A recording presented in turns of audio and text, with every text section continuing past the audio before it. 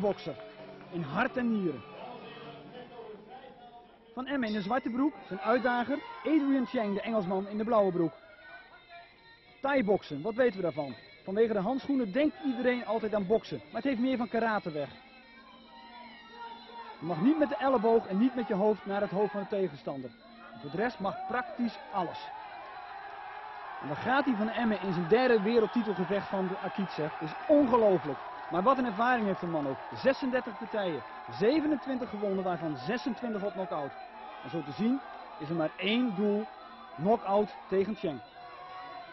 En Emmen is beter, Emmen heeft meer ervaring.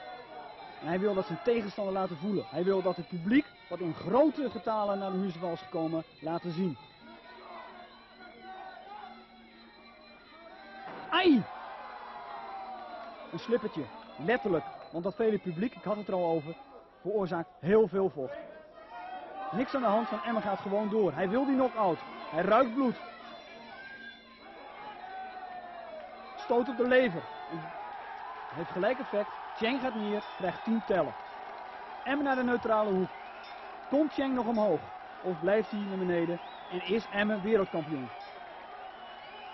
Cheng is oké. De partij wordt vrijgegeven. En opnieuw een stoot op de lever. En nog een stoot op de lever. En Cheng gaat voor de tweede keer neer. Voor M is het duidelijk. Hij is de winnaar. Maar wat beslist de scheidsrechter?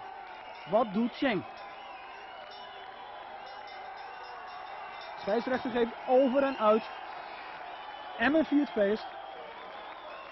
En Cheng denkt na of is hij buiten bewustzijn? Van hem informeert. Sportief. Cheng heeft pijn. En hier ging het allemaal om. Martin van Emmen is wereldkampioen.